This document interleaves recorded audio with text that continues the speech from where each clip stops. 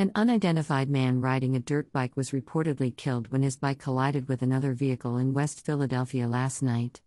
A report from 6 ABC Action News said the incident happened at the intersection of 56th and Spruce Streets at around 8:30 p.m. on Wednesday night. Police said the bike rider became stuck underneath the vehicle after the collision. He was rushed to Penn Presbyterian Medical Center where he was pronounced dead on arrival. The driver of the vehicle remained at the scene after the crash. No criminal charges against anyone have been reported at this time.